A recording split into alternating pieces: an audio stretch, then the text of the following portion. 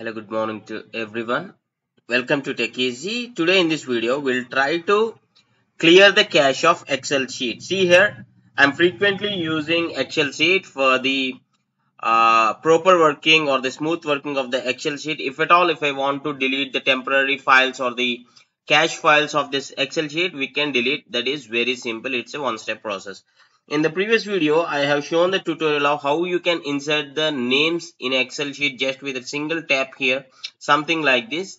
I did a video tutorial on this and I'll drop in the description if you want, you can check it.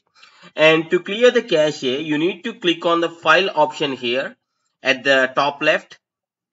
And at the bottom, you'll find something like options here, the last option. See here, last options, you need to tap on options yeah you need to click on save here and you need to scroll to the bottom here. Once you click on the save and see here days to keep files in the office document cache. It is better to keep the cache here with the default so you can increase or decrease or by any chance for any reason if you want to delete by yourself manually you can please delete cached files and you can click on this uh, delete cache. Means with this manual action right now i'm deleting the cache files on this excel sheet. So this is how you can uh, make use of this option like deleting caching files on the excel sheet. I hope you like this tutorial. Thanks for watching. Have a nice day